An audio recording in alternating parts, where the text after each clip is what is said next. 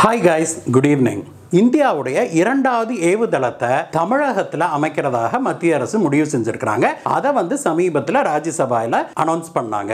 அதை பற்றின தகவல்களை தான் இன்னைக்கு பார்க்க போகிறோம் அதுக்கு முன்னாடி ஒரு சின்ன தகவல்.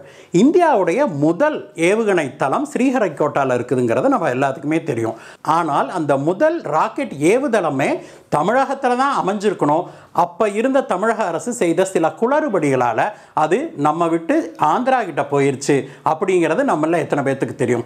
இந்த தகவலையும் டீட்டெயிலாக பார்க்கலாம் வாங்க. அதுக்கு முன்பாக உலகுக்கு வழிகாட்டுது இந்தியா அப்படிங்கிற நேற்றைய என்னுடைய வீடியோவில் முதல் கமெண்ட் போட்ட புவி தமிழ் நண்பருக்கு நன்றி.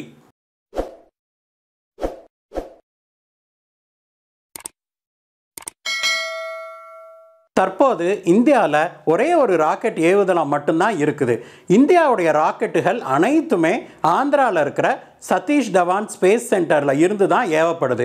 இந்தியா அதிக எண்ணிக்கையில் செயற்கைக்கோள்களை விண்ணில் செலுத்துறதால இந்த ஒரே ஒரு ராக்கெட் ஏவுதளம் போதலை. அதனால இந்தியாவுடைய இரண்டாவது விண்கலம் ஏவுதளத்தை அமைக்கலாம் அப்படின்னு சொல்லி முடிவு பண்ணியிருக்கிறாங்க மத்திய அரசு. அது அமைக்கப்படுறதுக்கு மிகவும் பொருத்தமான இடம் தமிழகத்தில் தான் இருக்குது அப்படின்னு சொல்லி ஆராய்ந்து கண்டுபிடிச்சிருக்கிறாங்க. அதன்படி தமிழகத்தில் தான் இஸ்ரோ இந்த ஏவுதளத்தை அமைக்க போறாங்க. தமிழகத்தில் இஸ்ரோ தேர்ந்தெடுத்திருக்கிற இடம் தூத்துக்குடி மாவட்டத்தில் இருக்கிற குலசேகரப்பட்டினத்தை தான் அங்க சுமார் ரெண்டாயிரத்தி முந்நூறு ஏக்கருக்கும் மேற்பட்ட பரப்பளவுல இந்த ஏவுதளம் அமைய இருக்குது இது தமிழகத்தில் அமைஞ்சதுன்னா நம் மக்களுக்கு நிறைய வேலை வாய்ப்புகள் உருவாகும். இந்தியாவுடைய ஸ்ரீஹரிகோட்டாவை தெரியாதவங்க இன்னைக்கு இந்தியாவில் இருக்கவே முடியாது. ஏன்னா அங்கதான் நமது நாட்டுடைய முதல் ஏவுதளம் அமைஞ்சிருக்குது. இந்தியாவுடைய சந்திராயன் உள்ளிட்ட அனைத்து பெரிய விண்கலங்களும் இங்க இருந்து தான் விண்ணில ஏவப்படுகின்றன.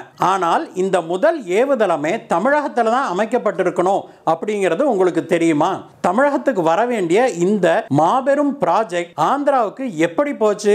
இந்தியாவுடைய இஸ்ரோல பணியாற்றிய முன்னாள் விஞ்ஞானி நம்பி நாராயணன் எழுதியுள்ள ready to fire how India and I survive the ISRO spy case அப்படிங்கிற நூல்ல இந்த தகவலை அவர் தெரிவிச்சிருக்கிறாரு. அவர் என்ன சொல்லியிருக்கிறாருன்னா ராக்கெட் ஏவுதளம் அமைக்க இஸ்ரோவின் விஞ்ஞானியான ஆர் எம் வாசகம் பல இடங்களை தேர்ந்தெடுத்திருந்தாரு. போலார் சேட்டலைட்ஸை விண்ணில ஏவுவதற்கு கிழக்கு கடற்கரையோரம் தான் சிறந்ததாக அமையும்னு கண்டறிஞ்சோம். அதன்படி எங்களுடைய முதல் சாய்ஸ் நாகப்பட்டினம் அருகே இருந்த ஒரு இடம். இரண்டாம் சாய்ஸ் தான் ஸ்ரீஹரிகோட்டா. பூமியின் சுழற்சிக்கு ஏற்ப நாம விண்கலத்தை செலுத்தினா நமக்கு ராக்கெட்ஸ் ஏவும் செலவு குறையும். அதுவும் இல்லாமல் ராக்கெட்டை வானத்தில் செலுத்தியதுமே அதை கிழக்கு நோக்கி திருப்பி விட்டோம்னா கடல் பகுதியின் மேலே பறந்துவிடும். அதனால ராக்கெட்டுக்கு ஏதாவது ஏற்பட்டுச்சுன்னா அது கடல்ல விழுமே ஒழிய மக்கள் வசிக்கும் பகுதியின் மீது விழாது. அதனால நாகப்பட்டினம் கன்னியாகுமரி கடற்கரை பகுதியில் ஏவுதளத்தை அமைக்கலாம்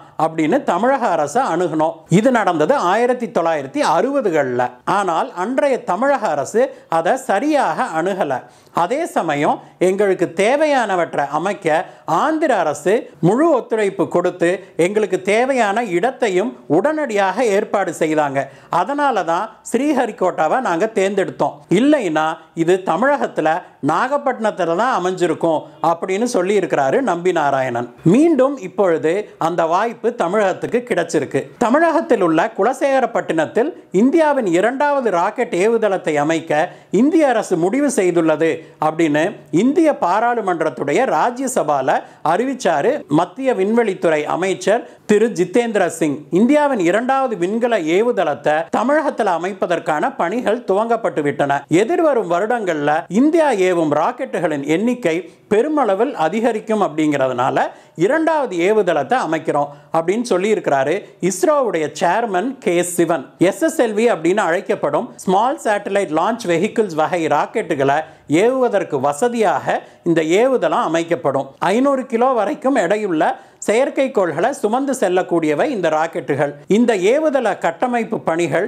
இரண்டாயிரத்தி இருபதாம் வருடம் முதல் காலாண்டுல முடிவடையும் அப்படின்னு சொல்லியிருக்கிறாரு திரு சிவன். ஒவ்வொரு வருடமும் சுமார் முப்பது ராக்கெட்டுகளை ஏவுது இஸ்ரோ.